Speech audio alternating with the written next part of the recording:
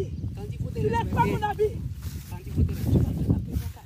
Tu respecter. vas faire la prison cadeau. Faut respecter. faut respecter. Quand tu quittes là, tu vas faire la prison cadeau. dit, faut te respecter. Ok. Je Faut te te respecte. respecter. Faut te respecter. Je te toi- respecte. Non, toi-même. Oui, oui. Faut te respecter. Tu es venu sur mon territoire. Non, faut te respecter. Faut te respecter. Laisse mon habit. Maintenant, faut laisser Je ne vais pas laisser parce que tu es venu sur mon sang. Non, C'est violation. non. Il n'a pas. Ok. Ici, là, pas ton C'est mon sang. Ah, donc toi, tu connais le champ à qui Comment réduire les affrontements entre agriculteurs et éleveurs? Si tu es tombé sur cette vidéo, ça veut dire que l'agriculture t'intéresse. Ça veut dire que ce n'est pas un hasard. Si tu es abonné à cette chaîne YouTube Agriculteur moderne, ça veut dire que tu es passionné, intéressé par le domaine agricole. Peut-être que tu as déjà une ferme agricole ou tu comptes installer une ferme agricole. Supposons que tu as finalement décidé de lancer ta ferme agricole. Tu as lancé cette ferme-là, tu as semé du riz et tu as semé des maïs. Trois mois après, pendant la période de la récolte, tu découvres un bétail de plusieurs têtes venir dans ta production, dans ton champ, pour manger, pour détruire des mois ou des années d'efforts. Quelle serait ta réaction? La violence, n'est-ce pas? La colère, n'est-ce pas? Ce n'est pas la bonne réaction. Ce n'est pas la solution pour éviter les problèmes d'affrontement entre agriculteurs et éleveurs en Afrique. Dans cette vidéo, je prendrai le cas de la Côte d'Ivoire. Vous allez voir une vidéo concrète ou des successions de vidéos dans lesquelles une dame est en train de se plaindre des agriculteurs ivoiriens, se plaignent de la situation disponible sur place en Côte d'Ivoire. Les gars, ils mettent leur culture en place, le bétail, les bœufs viennent tout détruire. Pour la plupart du temps, à ce qui paraît, ce n'est pas encore vérifié, la plupart ou la majeure partie de ce bétail ou de ces troupeaux appartiennent à certaines autorités ou personnalités influentes. C'est tout de suite et c'est dans cette vidéo. Je vous montrerai dans cette vidéo concrètement les stratégies à adopter pour ne pas faire face à ces gens de situations malheureuses. Je sais avant de faire cette vidéo, il y aura des préjugés. Quels conseils tu vas donner pour éviter les affrontements entre les éleveurs et les agriculteurs? Par exemple, en, en 2017, en Côte d'Ivoire, il y a des dizaines d'agriculteurs et d'éleveurs qui sont à cause des affrontements. Il y a même des forces de l'ordre qui sont à cause des affrontements entre agriculteurs et éleveurs. Au Bénin, il y avait, cette année c'est un peu réduit, des cas comme ça. Au Cameroun, il y a toujours eu ça. En Guinée, il y a toujours eu ça. Dans tous les pays, en fait, de l'Afrique francophone, il y a toujours eu ces cas d'agression. Même au Nigeria, il y en a toujours eu. Et donc, c'est une question continentale. C'est une question qui est inféodée à tous les pays africains. Et donc, dans cette vidéo-là, les gens, je donnerai, d'accord, des cas concrets, des conseils, des, des essais de solutions concrètes pour éviter les affrontements entre les agriculteurs et les éleveurs. Salut les gens. Pour ceux qui ne me connaissent pas, je suis M. Taragwe Valeransou, ingénieur agronome praticien, entrepreneur multi-investisseur. Je te parle sur ma chaîne d'agriculture, de développement en Afrique, d'investissement en Afrique, des intérêts de des Africains, des plantes et de leurs vertus. Si c'est des thématiques qui te passionnent, qui t'intéressent, tu es au bon endroit. Il faut faire quoi dans un premier temps?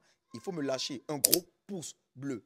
Ça me booste à chaque fois faire des vidéos. Il faut t'abonner à la chaîne pour ne plus jamais louper de pareil contenu et tu actives la cloche de notification, tu partages massivement cette vidéo-là sur toutes les plateformes pour faire grossir cette magnifique communauté d'agriculteurs modernes. Surprise, le continent, ouais, le continent, je serai au Cameroun ce samedi 21 septembre 2024 à partir de 10h. Nous allons parler du thème dans quel type de ferme agricole investir au pays? Oui, on ne se lève pas comme ça pour investir dans le domaine agricole. Dans quel type de ferme, toi, les gens, tu vas investir au pays? Et si ça t'intéresse, elle est disponible sur place à Douala le samedi 21 septembre 2024 à partir de 10h et disponible en ligne également. Donc, vous pouvez vous inscrire en ligne comme sur place. Bonus, je donnerai des semences de fruits de la passion aux 50 premiers inscrits et également des comptes d'exploitation qui ont en tout une valeur de 200 000 francs par participant. La participation est de 30 000 francs CFA et je serai dans le mois d'octobre au Gabon. N'hésitez pas à vous calmer, à vous poser dans votre fauteuil et à regarder cette vidéo de début jusqu'à la fin. On est ensemble. Il est dans mon champ. Il est en train de manger. oh. Il est en train de manger. oh. Hein? Ça, ça, ça. Faut le chasser. Ça. Ça. Oh. Chasse-le. Chasse-le.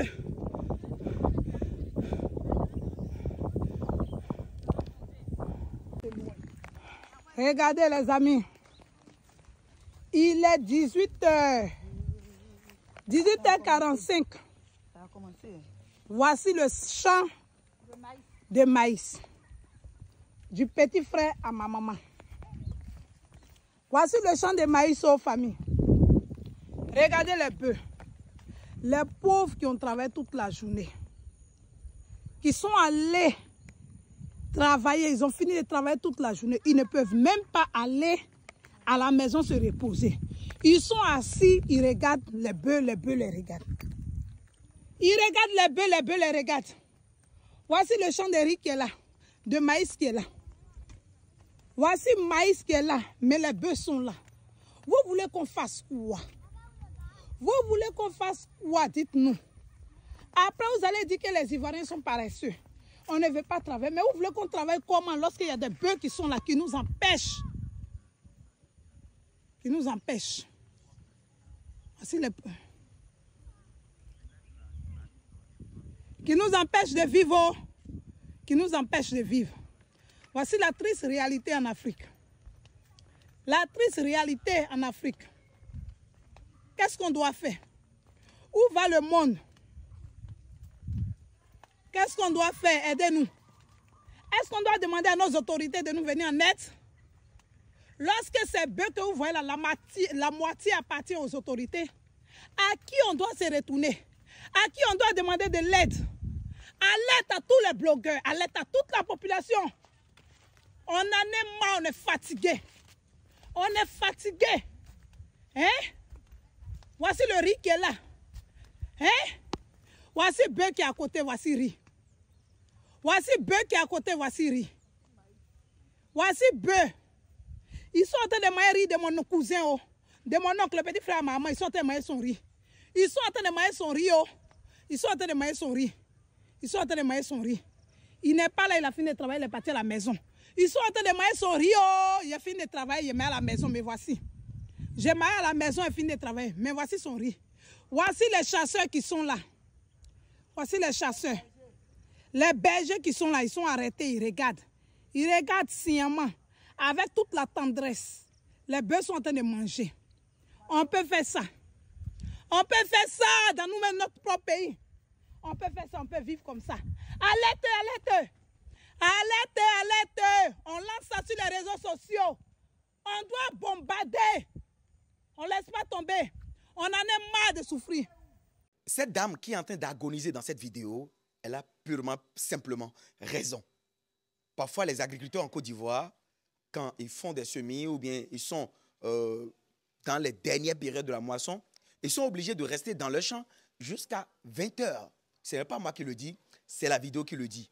Parce que les éleveurs passent dans le champ et détruisent toutes les cultures avec leurs troupeaux qui marchent, qui mangent tout ce qu'il y a sur le passage.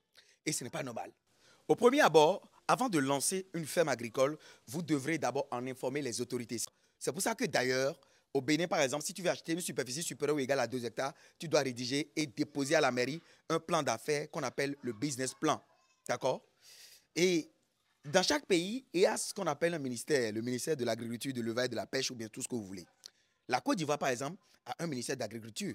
Et la zone dans laquelle la situation se, place, se passe, pardon, il y a un chef-lieu qui dépend du ministère de l'Agriculture, qui est chargé de la gestion de ces conflits et même qui peut même aller au niveau des dédommagements.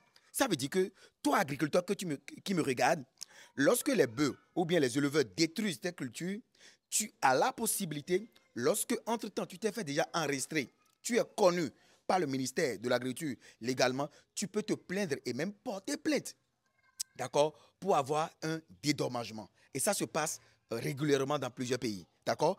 Et Deuxième méthode à adopter. Lorsque tu as un champ, d'accord, tu vas traditionnellement, d'accord, aller faire ami, d'accord, au chef village de la zone dans laquelle tu fais ta production pour qu'il puisse informer le chef des éleveurs qu'ici est un projet X ou Y de production. Il ne faudrait pas que le bétail ou bien les bœufs viennent détruire quoi que ce soit là. Et moi, pour ma petite expérience, ça marche au Bénin. Je ne sais pas si ça va marcher en Côte d'Ivoire ou dans d'autres pays ou bien au Cameroun. D'accord? Troisième méthode, la plus sûre, d'accord, c'est de faire une clôture. Alors, quand on parle de clôture, tu peux faire une clôture avec des barbelés, tu peux faire une clôture avec des grillages, le budget est un peu lourd, ou tu peux faire une clôture avec des bois, c'est-à-dire tu coupes des branches d'arbres et tu vas créer des obstacles physiques à tout bétail pour que tes plans soient safe. Maintenant, si tout ça se dépasse et tu n'as pas le budget pour faire tout ça, je te conseille de faire une clôture vivante, avec une haie vivante. Avec quoi? Les graines, notez ceci, de Yamatocilum campeshanum. Alors, c'est quoi le Yamatocilum campeshanum Le Yamatocilum campeshanum ou le campéché est une plante qui a des épines qui, à l'âge adulte, entrave toute intrusion. Le bétail, les animaux sauvages, les humains, lorsque cette plante est complètement soudée, elle est complètement en raie fermée, en, rang serré, plus personne n'y pénètre.